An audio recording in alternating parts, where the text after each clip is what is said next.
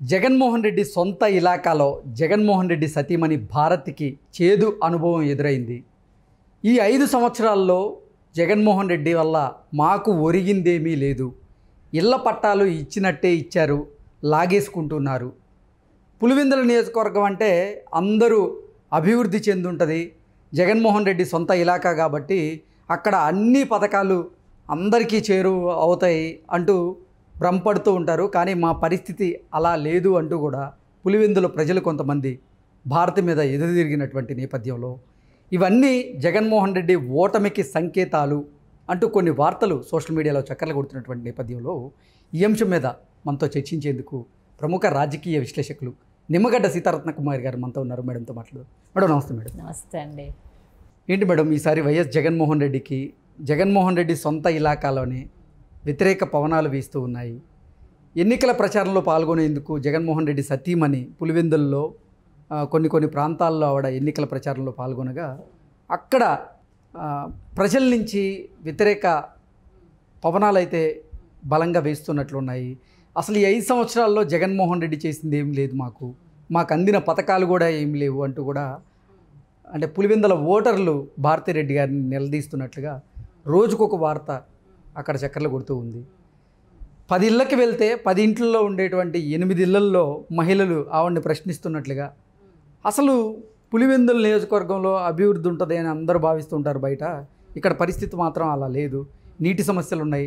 రోడ్లు బాగాలేవు అసలు మాకు పథకాలు అందట్లేదు. ఇళ్ళ పట్టాలు ఇచ్చినట్టే ఇస్తున్నారు. మళ్ళీ లాగేసుకుంటున్నారు. ఇది నేనుంటున్న ఇంటి పరిస్థితి అంటూ పార్వతి అమ్మ అనేటువంటి ఒక ఓటరు భారతి గారిని ప్రశ్నించడం భారతి గారికి ఏం చేయాలో అర్థం కాక తెల్లమొహం వేసి తలలు పట్టుకోవడం.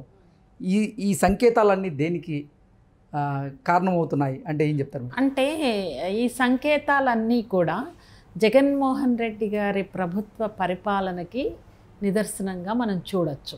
ఎందుకంటే రాష్ట్ర వ్యాప్తంగా ఈ ఐదు సంవత్సరాల్లో ఆయన పరిపాలన మీద ఆయన తీసుకున్నటువంటి నిర్ణయాల మీద వ్యతిరేక పవనాలు వీస్తుండడం ఈ రోజున మనం చూస్తున్నాము. సొంత ఇలాకాలో ప్రజల నుంచి వ్యతిరేకత వస్తుంది అంటే కనుక రాష్ట్ర ప్రజలందరూ కూడా ఆలోచించాల్సినటువంటి అంశం ఇది. ఎందుకంటే ఫస్ట్ నీ ఇల్లుని నువ్వు చక్కబెట్టుకోవాలి. సరిదిద్దుకోవాలి. రచ్చగెలవాలి ఆ, అంటే నీ ఇల్లు నువ్వు సరిదిద్దుకోవాలి. తర్వాత నువ్వు రాష్ట్ర ప్రజలకి. అలాంటిది నీ సొంత నియోజకవర్గంలోనే మీ భార్య వెళ్ళినప్పుడు వ్యతిరేకత ప్రజల నుంచి స్పందన వ్యతిరేక స్పందన వస్తుందంటే ఒక్కసారి జగన్మోహన్ రెడ్డి గారు వెనక్కి తిరిగి చూసుకోవాల్సినటువంటి పరిస్థితి. ఈ రోజున పథకాలు కానీ అక్కడ రోడ్లు కానీ లేకపోతే డెవలప్మెంట్ ఏదైతే ప్రోగ్రెస్ ఒక ముఖ్యమంత్రి నియోజకవర్గం ఏ స్థాయిలో అయితే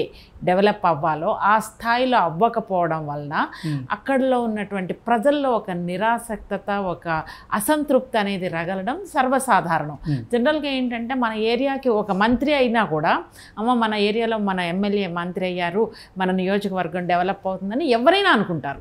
మన ఎమ్మెల్యే మంత్రి అయ్యారు అంటే మనకి జనరల్గా మన నియోజకవర్గంలో ఏమన్నా లాంగ్ పెండింగ్ ఇష్యూస్ ఏమన్నా ఉన్నా లేదంటే ప్రజలకి సహాయ సహకారాలు ప్రభుత్వం ద్వా- ద్వారా రావాల్సినటువంటి లబ్ధి రా లబ్ధి పథకాలు ఏవైతే రావాల్సినవి ఉన్నాయో చకచక జరుగుతాయి మన ఎమ్మెల్యే మంత్రి అయితే అని. ఇది మామూలు మంత్రి గురించి నేను మాట్లాడుతున్నా.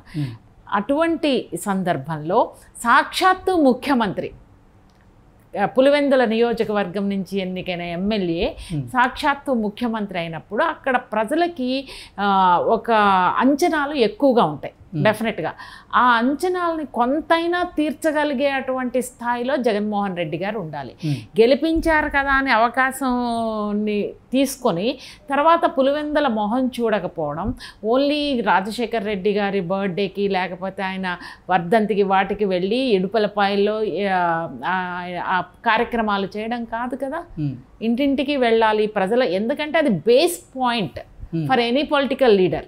You know ముఖ్యమంత్రి స్థాయిలో. వాళ్ళు ఓట్లు వేస్తేనే కదా మీరు ఎమ్మెల్యే అయ్యేది. ఎమ్మెల్యే అయిన తర్వాత మంత్రులు అవ్వడం. వాళ్ళ యొక్క లీడర్షిప్కి వాళ్ళ నియోజకవర్గమే నిదర్శనం. ఇటువంటి సందర్భంలో భారతీ గారు వెళ్ళినప్పుడు మరి నిరసన గళం విప్పారు అంటే ఆవిడ ఆలోచించాలి తన భర్త ఏ విధంగా పరిపాలన అందిస్తున్నారు? ఈ ఈమె ఎలక్షన్స్ ముందు రావడం కాదు.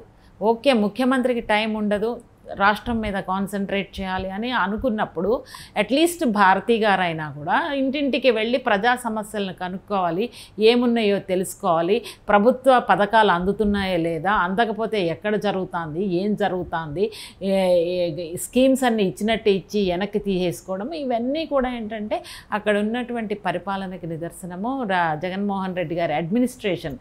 మీరు సొంత నియోజకవర్గంలోనే ఏమీ చేయలేకపోతే రాష్ట్రానికి ఏం చేస్తారు.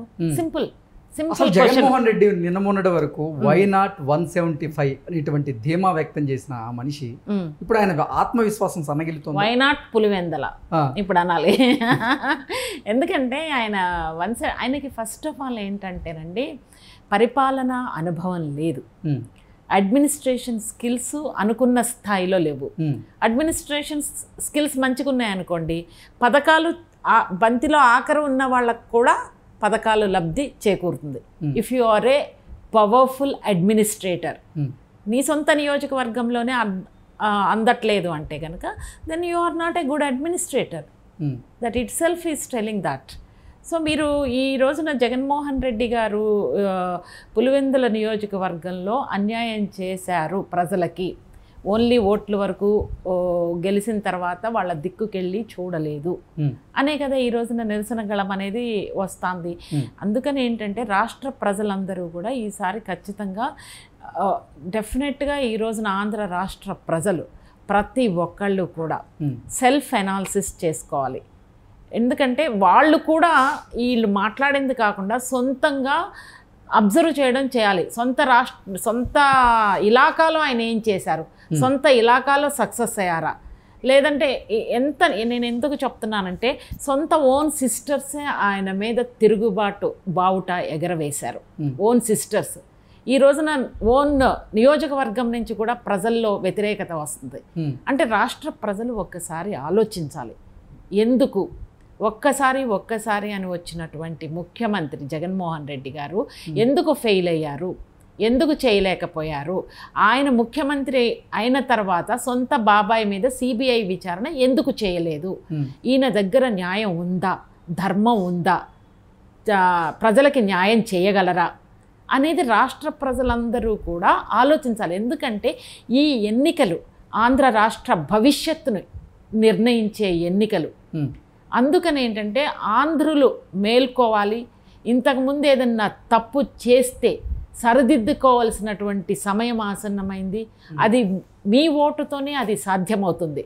సో అందుకని ఏంటంటే ఈ రోజున ఆంధ్ర రాష్ట్ర ప్రజలు జగన్మోహన్ రెడ్డి గారు పథకాలు ఏ విధంగా అమలు చేస్తున్నారు డబ్బులు ఎక్కడి నుంచి వస్తున్నాయి డబ్బులు ఎక్కడి నుంచి వస్తున్నాయి? డబ్బులు జనరేట్ చేసి ఇస్తున్నారా? లేకపోతే అప్పులు చేసి మన భవిష్యత్తు తరాలని అధపాతాళానికి చేసే విధంగా నిర్ణయాలు తీసుకుంటున్నారా? ఇవన్నీ కూడా రాష్ట్ర ప్రజలు ఆలోచించాలి. ఆయన సొంత నియోజకవర్గంలో ఉన్న ఫీడ్బ్యాక్ ప్లస్ రాష్ట్రంలో పరిపాలనని అంచనా వేసుకుని రాష్ట్ర ప్రజలు ముందుకెళ్ళాల్సినటువంటి అవసరం ఉంది. Okay. Okay madam. Thank you so much.